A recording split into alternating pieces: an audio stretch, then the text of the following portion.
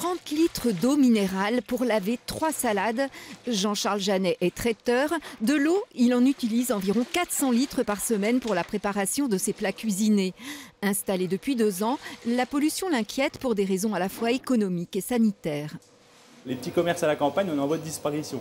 Donc en plus, quand on a des galères comme ça, ben c'est une épée au-dessus de la tête. Après, on ne sait plus comment faire. Quoi. Puis toujours la peur de l'intoxication alimentaire est qui peut arriver. Bon, après, on nous dit quand même qu'il faut que les enfants ne se lavent pas les dents avec l'eau du robinet. La situation est d'autant plus préoccupante qu'elle dure depuis un an.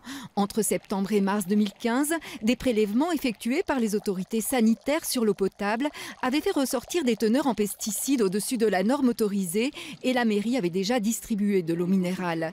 Les taux étaient redescendus, mais en septembre dernier, nouveau pic de pollution avec dix fois la valeur autorisée. Plusieurs des composants incriminés sont utilisés pour le traitement du colza. On subit des taux importants et un cocktail de pesticides, le métazachlore étant euh, le représentant permanent euh, des pesticides représentés, mais on en a d'autres. On a eu le flufénacet qui avait justifié en décembre dernier, fin décembre, euh, la restriction d'eau du village pendant 45 jours. Des habitants du village ont créé un collectif pour informer les riverains sur le danger des molécules et les mesures de précaution. Ce collectif a porté plainte contre X, au même titre que le maire des sur seine afin de déterminer plus clairement les causes de cette pollution. Il y a deux, actions.